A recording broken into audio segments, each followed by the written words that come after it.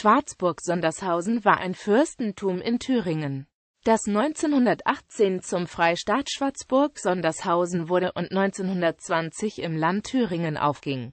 Vorläufer des Fürstentums war die Grafschaft Schwarzburg-Sondershausen, die in gleichen Grenzen von 1599 bis 1697 existierte. Die Gesamtfläche des Fürstentums betrug 862,1 Quadratkilometer. Das Territorium war zerstückelt und gliederte sich in die Oberherrschaft, bestehend aus den räumlich getrennten Bezirken Arnstadt und Gehren mit den beiden Enklaven Geschwenda und Rockhausen, sowie die Unterherrschaft mit den Bezirken Ebeleben und Sondershausen, wo sich auch das Stammschloss Schloss Sondershausen befindet. Weitere wichtige Orte in der Oberherrschaft waren Masserberg, Großbreitenbach und Plaue sowie in der Unterherrschaft Preußen und Klingern. Geschichte die Geschichte des Fürstentums geht auf das Geschlecht der Grafen von Schwarzburg zurück, die erstmals im 11. Jahrhundert erwähnt wurden. Durch Erbteilungen und Erwerbungen veränderte die Grafschaft Schwarzburg bis zum 16. Jahrhundert häufig ihre Gestalt. Mit dem Stadt-Ilmer-Vertrag vom 21. November 1599 wurden die schwarzburgischen Territorien neu aufgeteilt. Es entstanden die beiden Grafschaften Schwarzburg-Sondershausen und Schwarzburg-Rudolstadt. Die Territorien waren Teil des Obersächsischen Reichskreises.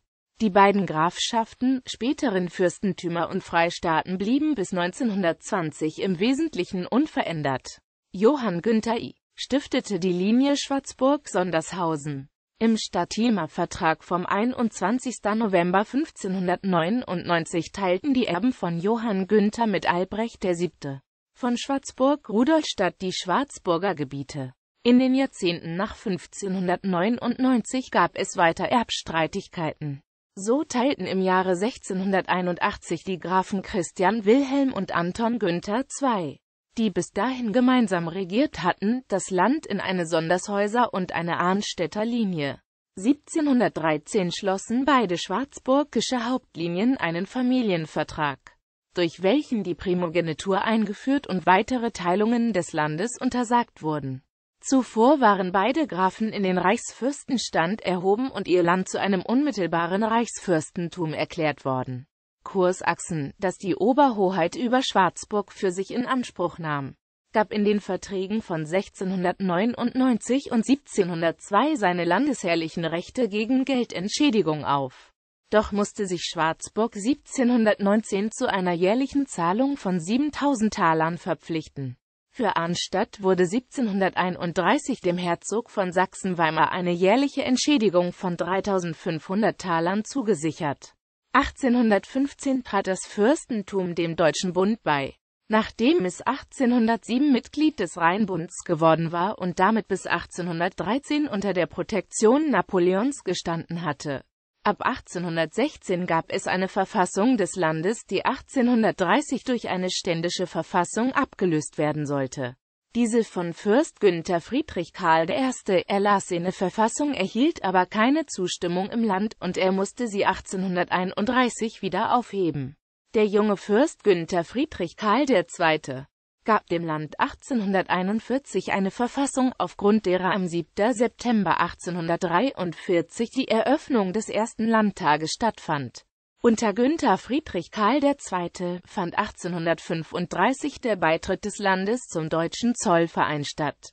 Trotz verschiedener Reformen gab es 1848 auch in Schwarzburg-Sondershausen Unruhen, welche zur Folge hatten dass im Herbst 1848 die Oberherrschaft von sächsischen, die Unterherrschaft von preußischen Truppen besetzt wurde. Der liberale Friedrich Schopp wurde Chef der Märzregierung. Am 12. Dezember 1849 wurde eine freisinnige Verfassung verkündet. Durch Gesetz vom 18. März 1850 übernahm der Staat die Verwaltung der Kammergüter, und der Fürst erhielt eine jährliche Zivilliste von 120.000 Talern. Am 8. Juli 1857 wurde die Verfassung konservativ umgestaltet. Und somit waren die zuvor beschnittenen fürstlichen Rechte im Wesentlichen wiederhergestellt. Als Schwarzburg-Sondershausen 1866 gegen die von Österreich im Bundestag des Deutschen Bundes beantragte Mobilmachung gegen Preußen gestimmt hatte, trat das Fürstentum dem neuen Norddeutschen Bund bei, wodurch 1867 die Militärhoheit an Preußen überging. Ab dem 18. Januar 1871 gehörte das Land dem Deutschen Reich an. Im Jahr 1909 starb Fürst Karl Günther von Schwarzburg-Sondershausen kinderlos und die Sondershäuser-Linie erlosch im Mannesstamm. Gemäß dem Hausvertrag von 1713 übernahm Günther Viktor von Schwarzburg-Rudolstadt die Herrschaft. Bemühungen, einen Schwarzburger Gesamtstaat zu schaffen, scheiterten an den konservativen Kräften in Sondershausen. Lediglich einige gemeinsame Behörden und Einrichtungen wurden in Arnstadt gegründet. Der Erste Weltkrieg und die weitere historische Entwicklung beendeten diese Bemühungen. Mit Ende des Ersten Weltkriegs dankte am 25. November 1918 Fürst Günther Viktor als letzter deutscher Monarch ab und dem Fürstentum folgte der Freistaat Schwarzburg-Sondershausen. An die Stelle der fürstlichen Regierung traten provisorisch ein Ministerium und ein Landesrat mit dem Landtagspräsidenten Wilhelm Beerwinkel an die Spitze. Der letzte Fürst verstarb 1925 in Sondershausen, seine Gemahlin Anna-Luise von Schwarzburg verstarb 1951 ebenda. Sie war neben dem Herzog Ernst II. von Sachsen-Altenburg und der geschiedenen Frau von Ernst II. Adelheid die zweite ehemalige Fürstin, die in der DDR blieb. Verfassung, politisches Leben und Stellung im Deutschen Reich. Die am 8. Juli 1857 verkündete und bis zur Novemberrevolution gültige Verfassung, als Landesgrundgesetz bezeichnet, sah einen Landtag mit einer Kammer und eine Legislaturperiode von vier Jahren vor. Sechs Mandate konnte der Landesheld durch Ernennung auf Lebenszeit vergeben, je drei für Ober- und Unterherrschaft. Weitere sechs Abgeordnete wählten jene 300 Wahlberechtigten, die die höchsten direkten Staatssteuern entrichteten. Unmittelbar in einem einzigen Wahlgang. Die restlichen Wahlberechtigten bestimmten in allgemeinen indirekten Wahlen nochmals sechs Abgeordnete. Bei diesen Wahlen war jeder männliche Landeseinwohner stimmberechtigt, der 25 Jahre alt war und keine Steuerschulden hatte. Passives Wahlrecht bestand für männliche Landeseinwohner nach Vollendung des 30. Lebensjahres. Neben den Abgeordneten hatte auch der Landesheld das Recht, Gesetzesvorschläge einzubringen. Das Budgetrecht des Landtages war eingeschränkt, er durfte Deckungsmittel für bestimmte Ausgaben nicht verweigern. Tagungsort des Landtages war Sondershausen. Alles in allem war das eine Verfassung, die zu den rückständigsten im Reich zählte. Strukturell garantierte sie eine stabile Zweidrittelmehrheit von Abgeordneten, die lediglich rund 1 Prozent der Gesamtbevölkerung repräsentierten. Hinzu kam, dass der Landtag als beschlussfähig galt, wenn zwei Drittel der Abgeordneten anwesend waren. Damit konnten die Zwölfe durch Ernennung oder über den Wahlzensus bestimmten Abgeordneten bei Bedarf jederzeit durch Auszug oder Fernbleiben Beschlussunfähigkeit herstellen, während derlei den sechs durch allgemeine Wahlen bestimmten Abgeordneten nicht möglich war. Jede Änderung des Landesgrundgesetzes bedurfte der Zustimmung von zwei Dritteln der Abgeordneten und war damit de facto ausgeschlossen.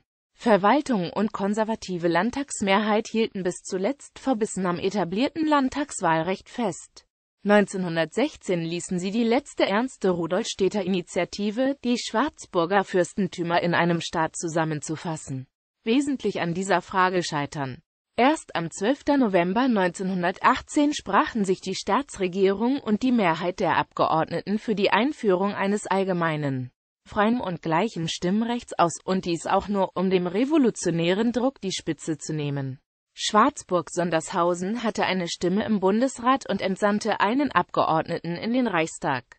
Die Reichstagswahlen waren im Fürstentum seit 1890 in der Hauptsache Auseinandersetzungen zwischen Sozialdemokraten, die sich erst seit 1908 legal organisieren konnten. Da politische Arbeitervereine bis dahin im Fürstentum verboten waren und Nationalliberalen Letztere holten, obwohl die SPD bei der Reichstagswahl 1912 mit 44,8 Prozent der Stimmen im ersten Wahlgang schließlich deutlich zur stärksten Partei wurde, regelmäßig das Mandat.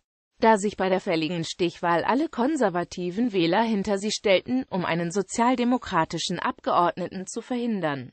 Von 1903 bis 1918 vertrat Felix Bärwinkel den Wahlkreis im Reichstag. Auffällig stark waren die antisemitischen Parteien, die 1903 25,3 Prozent und 1912 19,9 Prozent der Stimmen erhielten. Das Militär des Fürstentums war seit dem Vertrag mit Preußen vom 18. August 1866 in das Infanterieregiment Nr. 71 eingegliedert. Dessen Bataillon war in Sondershausen garnisoniert. Für die Gerichte des Landes siehe Gerichte im Fürstentum Schwarzburg-Sondershausen. Wappen Schildhalter des Wappens des Fürstentums Schwarzburg-Sondershausen ist links ein wilder Mann, rechts ein weibliches Pada. Der stark gegliederte Hauptschild macht den Streubesitz deutlich. Der Hauptschild ist gespalten und ist von einem schmalen, blau-golden-schwarz schräg gestückten Kreuz überdeckt, das bis zum Schildfuß reicht. Feld 1 und 4 der linken Hälfte zeigen in Gold einen schwarzen, goldbewehrten und rot gezungten Adler, der für die Herrschaft Arnstadt steht. Feld 2 und 3 der linken Hälfte zeigen in Silber ein rotes Hirschgeweih von 2 mal 6 mit Greint, welches die Herrschaft Sondershausen symbolisiert. Der Herzschild der rechten Schildhälfte ist im Blau ein goldener, hersehender Löwe, golden gekrönt und rot gezungt und doppelschweifig. Er steht für Schwarzburg. Feld 1 und 4 der rechten Hälfte sind rot-silbern geschacht und stehen für die Grafschaft Hohenstein. Feld 2 und 3 stellen in Rot über vier goldenen Balken einen goldenen, doppelschwänzigen Löwen mit roter Zunge und ebensolcher Bewehrung dar und stehen für die Grafschaft Lauterberg. Im Herzschild der linken Schildhälfte ist in Silber ein schwarzer schreitender Hirsch, der Klettenberg symbolisiert, zu sehen. Über dem Hauptschild befinden sich sechs Helme. Die Grafen und Fürsten von Schwarzburg Sondershausen 1571 bis 1909.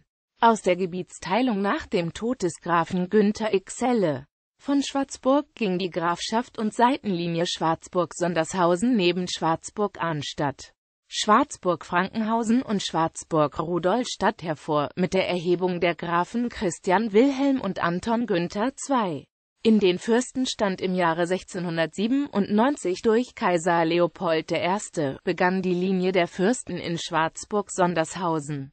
Die Grafen von Schwarzburg-Sondershausen 1571 bis 1586 Graf Johann Günther I., Sohn Günthers Ixell von Schwarzburg 1586 bis 1593 vormundschaftlich die Grafen Antone und Johann VII von Oldenburg 1593 bis 1642 Graf Günther Ixelli regierte gemeinsam mit seinen Brüdern Anton Heinrich Johann Günther II und Christian Günther I kinderlos. 1594 bis 1638 Graf Anton Heinrich kinderlos. 1600 bis 1631 Graf Johann Günther II kinderlos. 1601 bis 1642 Graf Christian Günther I. 1642 bis 1666 Graf Christian Günther II. Zu Arnstadt regierte die Oberherrschaft mit Residenz in Arnstadt ohne Erben. 1642 bis 1666 Graf Anton Günther I. zu Sondershausen regierte Teile der Unterherrschaft mit Residenz in Sondershausen. 1642 bis 1681 Graf Ludwig Günther II. zu Ebeleben, regierte Teile der Unterherrschaft mit Residenz in Ebeleben, ohne Erben. 1666 bis 1716 Graf Anton Günther II. zu Arnstadt regiert gemeinsam mit seinem Bruder Christian Wilhelm, kinderlos. 1666 bis 1720 Graf Christian Wilhelm, 1697 Erhebung Schwarzburgs in den Reichsfürstenstand. Die Fürsten von Schwarzburg Sondershausen 1666 bis 1716 Fürst Anton Günther II. zu Arnstadt regiert gemeinsam mit Christian Wilhelm 1666 bis 1720 Fürst Christian Wilhelm 1697 Erhebung Schwarzburgs in den Reichsfürstenstand führt die Primogenitur ein. 1720 bis 1740 Fürst Günther I., der bis zu seiner Ernennung zum Fürsten den Namen Graf Günther XLII trug 1740 bis 1758 Fürst Heinrich 1758 bis 1794 Fürst Christian Günther III 1794 bis 1835 Fürst Günther Friedrich Karl I. 1835 bis 1880 Fürst Günther Friedrich Karl II. 1880 bis 1909 Fürst Karl Günther, kinderlos 1909 bis 1918 Fürst Günther Viktor von Schwarzburg-Rudolstadt führte das Fürstentum Schwarzburg-Sondershausen in Personalunion. Bevölkerungsentwicklung 1871 bis 1919 Nach der Gründung des Deutschen Reichs 1871 kam es auch im Fürstentum Schwarzburg-Sondershausen zu einer verstärkten Industrialisierung und damit einhergehend zu einem starken Bevölkerungswachstum, was sich wie folgt darstellt: 1871 zu 67 Einwohner, 1880 zu 71 Einwohner.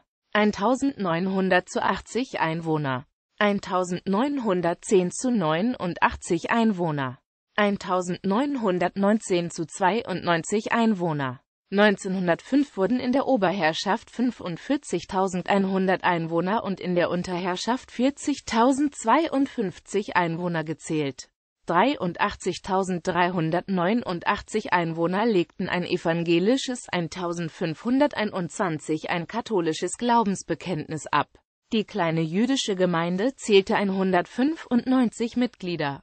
Orte mit über 2000 Einwohnern außerdem lagen 1910 im Vergleich zu 1852 folgende Orte über der Marke von 2000 Einwohnern. Stadt Langewiesen, Stadt Gehren und Gemeinde Geschwender Wirtschaft und Gesellschaft Neben der traditionellen Landwirtschaft und der im waldreichen Bezirk Gehren betriebenen Forstwirtschaft entstanden im Fürstentum in den letzten Jahrzehnten des 19. Jahrhunderts auch viele industrielle Produktionsbetriebe. Erwähnenswert sind die Kalibergwerke in der Unterherrschaft, die Herstellung von Textilwaren und Handschuhen sowie die Steingut- und Porzellanindustrie vor allem in der Oberherrschaft 1907 arbeiteten 28,7 Prozent der Erwerbstätigen in der Landwirtschaft, 48,2 Prozent in der Industrie und 9,8 Prozent in Handel und Verkehr. 1905 wurden 56,8 Prozent der Gesamtfläche des Fürstentums als Acker- und Gartenfläche, 4,6 Prozent als Wiese und 31 Prozent als Forst deklariert als fideikomissarisches Privateigentum des Herrscherhauses wurden 7.704 Hektar Domänen und 17.235 Hektar Forsten vom Staat verwaltet. Aus den Einkünften dieses Kammerguts stand dem Landesherrn eine jährliche Domänenrente von 500.000 Mark zu